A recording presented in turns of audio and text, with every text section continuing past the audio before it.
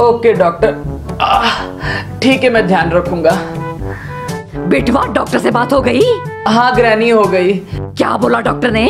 Doctor ने कहा है कि मुझे पेट की जलन कम करने के लिए सिर्फ़ ठंडी चीज़ें मतलब आइसक्रीम खानी होगी। ठीक है मैं तेरे लिए अभी आइसक्रीम्स लेके आती हूँ। ये ले बेटवा ice cream thank you ice cream granny इतनी सारी आइसक्रीम्स के लिए। कैंडी खा लेता हूँ बाकी आइसक्रीम्स फ्रिज में रख देता हूँ।